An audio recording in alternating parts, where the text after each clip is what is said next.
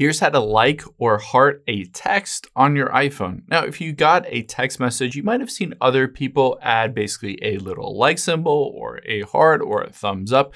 I'll show you how to add those reactions to any text messages. So we're gonna open up our messages app here and I just have a conversation with myself here. Now, if I wanted to react to them, add a like or heart, all I have to do is tap and hold on the other person's message.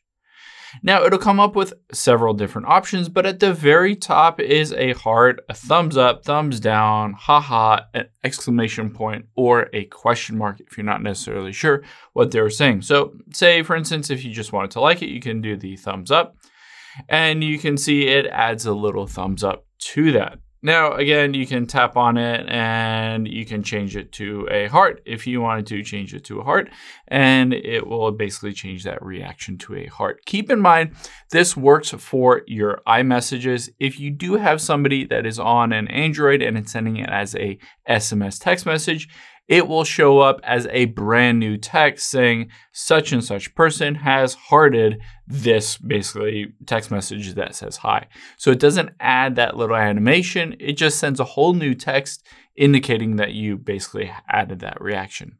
Hope this helps. If you have any questions on that, leave them in the comments down below, and I'll catch you on the next one.